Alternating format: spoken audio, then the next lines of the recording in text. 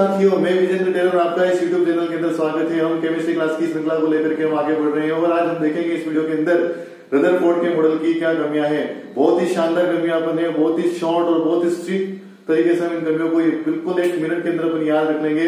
तो आप इस वीडियो में हमारे साथ अंत तक बने रहिए और ब्रदर फोर्ड की कमियों को आप लगातार देखिए, जिससे परीक्षा में आने वाले प्रश्न कभी भी हमारे सामने गलत नहीं हो। और वीडियो को देखने के बाद इसको सब्सक्राइब और लाइक ज़रूर करें और कमेंट बॉक्स में भी लिखें। और हम वीडियो को आगे चालू करते हैं।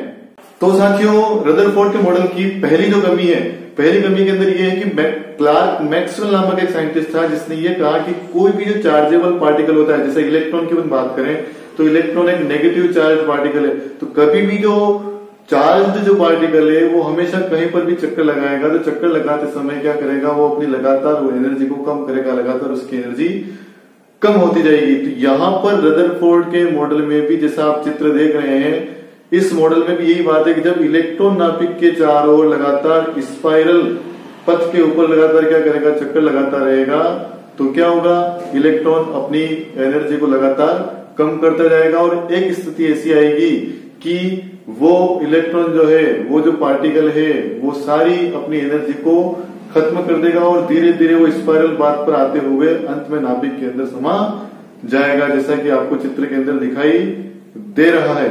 जब इलेक्ट्रॉन नाभिक के अंदर समा जाता है इलेक्ट्रॉन नाभिक के अंदर समा जाएगा तो परमाणु अपना स्थायित्व खत्म कर देगा। परमाणु रहेगा ही नहीं, परमाणु का अस्तित्व ही समाप्त हो जाएगा। परंतु वास्तव में ऐसा नहीं होता। तो इस घटना के बारे में जो है मैक्सवेल ने क्वेश्चन किया। परंतु रदरफोर्ड इसका कोई विशेष एक्सप्लेनेशन नहीं दे पाया। इस कारण से जो है, आगे जाकर के निल्स बोहर ने इस कमी को सुधारा। तो साथियों, दूसरी कमी की अपन बात करें, दूसरी कमी क्या थी? जब इलेक्ट्रॉन वृत्ताकार कक्षा के अंदर चक्कर लगा रहा है तो ये क्या करेगा? लाइट के फॉर्म में, प्रकाश के फॉर्म में एनर्जी को जब रिलीज़ करता है तो रिलीज़ करते समय इसका जो स्पेक्ट्रम बनता है, वो कंटिन्यूस होना चाहिए।